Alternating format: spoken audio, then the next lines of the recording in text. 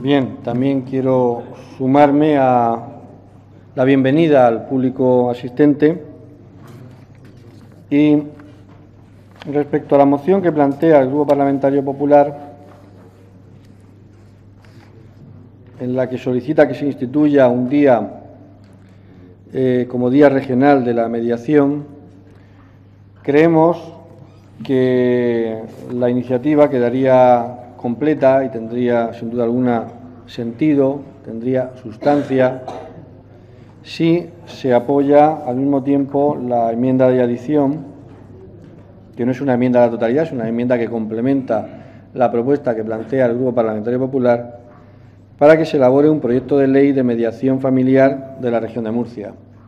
Solo así tendrá contenido, tendrá sustancia eh, la iniciativa y el trabajo que aquí estamos planteando, porque simplemente por la institución de un día, cuando se trata de un asunto que ya está legislado en muchas comunidades autónomas, excepto en Extremadura, en Ceuta y Melilla, que son las únicas en las que no hay regulación, pues no tendría, quedaría sin duda alguna coja. Por tanto, hay que ir más allá. Yo creo que ese compromiso se debe y no debe haber ningún problema en plantearlo.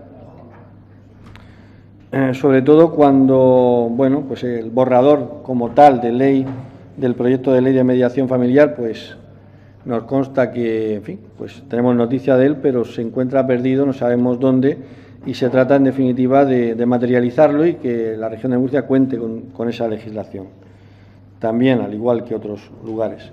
Pero al margen de las buenas intenciones, de las declaraciones de intenciones, de las instituciones de días, Hace falta mojarse eh, concreta y materialmente a favor de la mediación, de la mediación eh, tal y como se plantea, más allá de la institución de un día.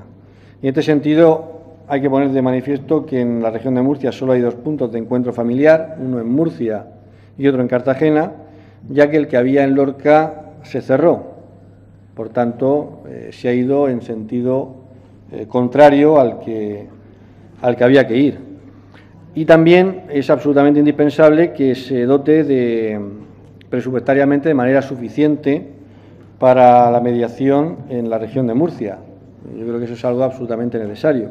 Y al mismo tiempo hay que contemplar la alternativa de que no siempre la mediación fructifica y en consecuencia, pues eh, al final, pues acaba, acaban las eh, personas en, eh, teniendo que recurrir a, los tribunales. Y en este sentido, pues hay que poner de manifiesto que tanto la ley de tasas como las reformas de planta y demarcación judicial pues van eh, en un sentido negativo para resolver el problema que se pueda plantear.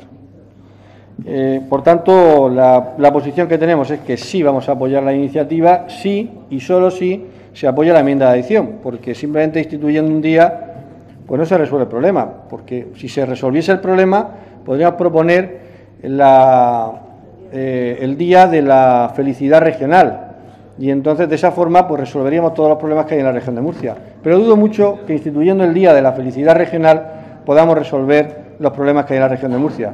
¿Verdad, señorías? Por tanto, apoyemos para que tenga sentido la iniciativa la enmienda de edición que presenta el Grupo Parlamentario Socialista. Muchas gracias. Gracias, señor Pujante. Tiene la palabra de nuevo la señora Tomás.